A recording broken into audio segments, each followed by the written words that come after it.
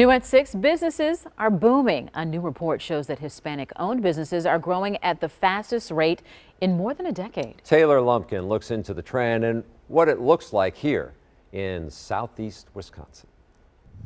It's scary, but if we don't take that risk, there's no gain and there's no loss at the end of the day. It's opening night for Juan Magdaleon and his partners at their new restaurant, Tulum Latin Gastropub.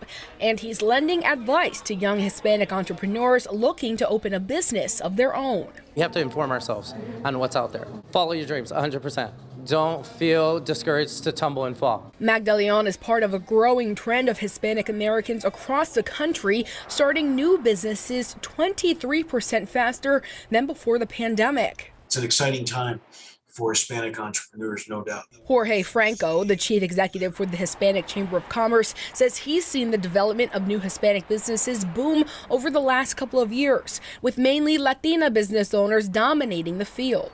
2020 to 2021, over the 24 month window, we're easily in the hundreds.